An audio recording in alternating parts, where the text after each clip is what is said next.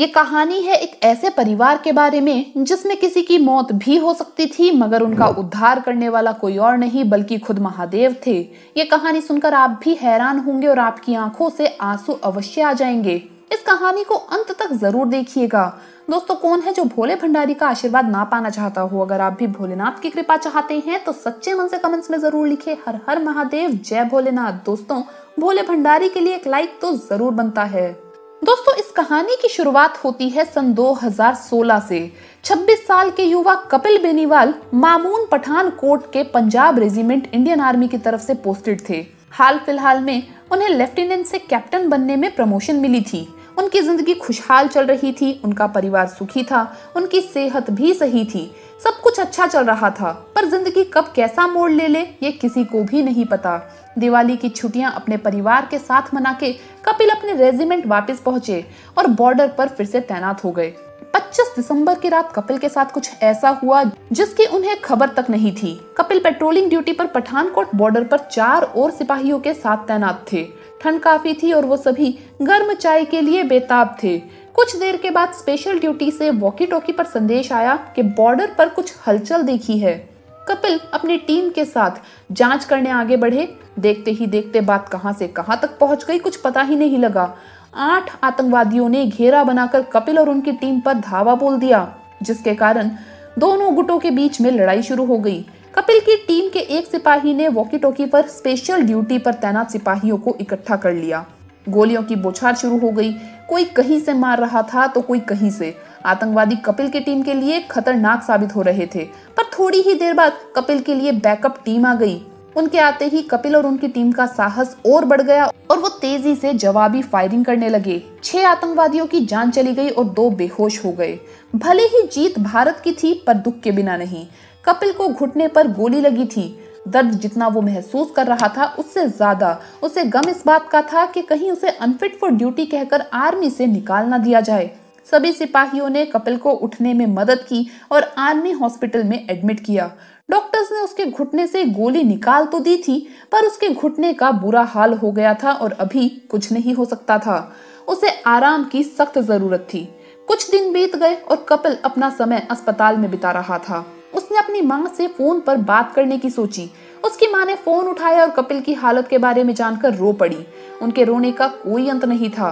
कपिल भी उन्हें इतना दुखी देखकर ज़्यादा ही दुखी हो गया और सोचने लगा कि मेरी माँ घर में एकदम अकेली है। अपनी माँ को आश्वासन देते हुए कपिल बोले रो मत माँ, सब ठीक हो जाएगा।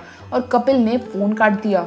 अगले दिन जब उनका दोस्त उनसे मिलने आया तो उसने देखा कि कपिल बहुत ही ज़्यादा परेशान और दुखी है। जब उसे सारी बात का पता लगा, तब उसका भी जी दुखी हो गया। उसने अपने गले से उतारकर कपिल को अपने रुद्राक्ष की माला दे दी और कपिल से कहा कि, जब जब मैं दुखी हुआ हूँ, मैंने इस माला से भगवान शिव की आराधना की है और मुझे हमेशा सहायता ही मिली है। अभी मुझसे ज़्यादा तो तुम्हें इसकी ज़रूरत है। कपिल ने वो माला ली और अपने सर से छूकर उसे प्रणाम किया और अपने दोस्त को वादा किया कि वो भी ऐसा ही करेगा। कपिल ने रात भर उस माला का जप शुरू कर दिया और महादेव से अपने परेशानियों के लिए उपाय की आराधना की।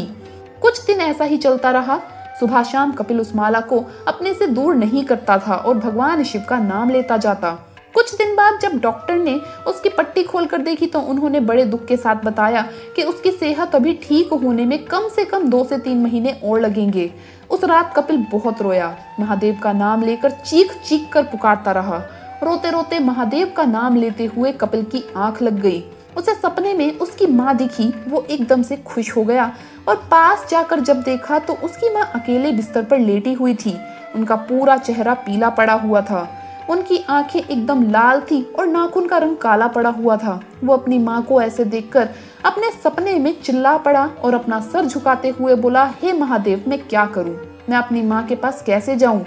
हे महादेव, मुझे कोई राह दिखाओ। एकदम से कपिल को अपने सामने से एक आवाज़ सुनाई पड़ी। सब ठीक होगा, तू ही सब ठीक करेगा। बदले में सिर्फ़ कुंभ के मेले में गंगा में डुबकी लगाकर अपने मन और तन को पवित्र करना है। वहाँ तुझे अपनी खुद की माला अपने आप मिल जाएगी और मैं हमेशा तेरे साथ रहूँगा।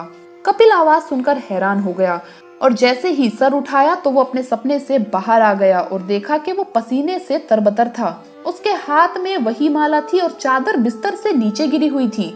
कपिल की नज़र अपने घुटने पर गई और वो देखकर हैरान हो गया। उसकी पटियाँ खुली हुई थी। एक छोटे से कट के सिवा उसके घुटना एकदम से सही था। उसने अपने बिस्तर से नीचे पाँव रखा और चलने की कोशिश की और वो चल पा रहा था, बिना किसी दर्द के। उसकी खुशी का कोई ठिकाना नहीं था। पर कहीं कुछ हो ना जाए, इस डर के मारे कपिल वापस अपने बिस्तर पर लेट गया और उसने सुबह होने का इंतज़ार किया। सुबह होते ही जब डॉक्टर्स कपिल के पास आए तो वो कपिल को चलता फिरता देखकर हैरान रह गए। उन्होंने छू कर देखा, ठंडा गर्म लगा करके देखा, पर कपिल का घुटना एकदम से सही सलामत था। उसने अपने सीनियर अफसर से उसी दिन दोपहर में घर जाने की दरखास्त की। उसके अफसर ने उसे घर जाने की इजाज़त दे दी।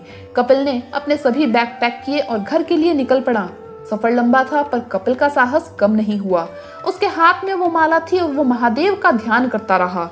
घर पहुँचते साथ ही वो भागकर अपनी माँ के पास पहुँचा और अपनी माँ को प्रणाम किया। पर उसकी माँ की तबीयत इतनी खराब थी कि वो अपने बेटे के गले भी नहीं लग पा रही थी। कपिल ने तुरंत ही गाड़ी का इंतज़ाम किया और अपनी माँ को हॉस्पिटल लेकर गया। हॉस्पिटल में इमरजेंसी वार्ड के डॉक्टर ने कपिल को बताया कि उसने अपनी माँ को मौत के मुँह से बाल बाल बचाया है। अगर एक दिन भी लेट हो जाता तो उसकी माँ शायद नहीं बच पाती। ये सुनकर कपिल रो पड़ा और पास के ही शिव मंदिर में जाकर उसने अपने घुटने महादेव के सामने टेक दिए और महादेव से बोला, हे hey शिव, तू सच में मौत का भी अंत कर सकता है। तेरी शरण में आकर मेरी माँ बच गई। कुछ दिनों बाद उसकी माँ की तबीयत ठीक हो गई। वो अच्छे से खाने पीने लगी और उसके चेहरे के रंग में भी काफ़ी लाली आ गई थी। कपिल की खुशी का कोई ठिकाना नहीं था। इस दुनिया में सिर्फ़ वो दोनों ही एक दूसरे के लिए थे। अपनी माँ की सेहत ठीक होते देख उसे बहुत शांति मिली, पर अभी भी उसका काम बाकी था। उसे कुंभ जाना था, जैसा कि महादेव ने उसे कहा था। अपनी माँ की सेवा के लिए उसने अपनी मौसी को घर बुला लिया और हरिद्वार के लिए निकल पड़ा। वो पहले स्नान के शुभ दिन पर ही हरिद्वार पहुँच गया और कुंभ मेले की रंगीन दुनिया में मगन हो गया। इतने श्रद्धालु देखकर उसकी आत्मा भी बहुत खुश थी। वो मणिकर्णिका घाट की तरफ़ गया और स्नान के लिए उसने गंगा में डुबकी मारी। स्नान के बाद वो कुछ देर घाट पर ही बैठा रहा। धूप की किरणें उसके शरीर पर चमक रही थी। उसका घुटना एकदम से सही था और वो श्रद्धालुओं की भीड़ को देखता गया। कुछ ही देर बाद उसके कंधे पर किसी ने हाथ रखा। उसने जब पीछे मुड़कर देखा तो कोई नागा साधु के सचिव उसके सामने खड़े थे। उसने साधु को प्रणाम किया। उस साधु ने उसके सामने कुछ सामान रख दिया और बोले, ये तुम्हारे लिए है, अपनी ज़िंदगी में भय पर विजय प्राप्त करना। जब कपिल उस सामान को देखने के लिए झुका तो उसने देखा कि तीन सफ़ेद फूलों की माला के बीच में एक रुद्राक्ष की माला रखी हुई थी। कपिल चौक गया। उसका मुँह खुला का खुला रह गया। उसे महादेव की कही हुई बात याद आ गई। ये माला साक्षात महादेव की ही थी। उसने जैसे ही साधु को बताना चाहा तो देखा कि नागा साधु उसके सामने था ही नहीं। उसने हर जगह देखने की कोशिश की, मगर वो साधु कहीं नहीं मिला। उन साधु का कपिल को पता नहीं चला। भगवान की अपरंपार लीला से कपिल का मन भक्ति और प्रशंसा से भर गया। कपिल आज भी अपनी माँ के साथ रहता है, अपनी ज़िंदगी में खुश है और आज भी उसी माला से महादेव की आराधना करता है। तो दोस्तों, आपको ये वीडियो कैसा लगा? हमें कमेंट्स में ज़रूर बताएँ। इस वीडियो को लाइक करें, अपने दोस्तों के साथ शेयर करें और हमें सब्सक्राइब करना ना भूले। धन्यवाद दोस्तों, आपका दिन शुभ रहे। हर हर महादेव, जय महाकाल।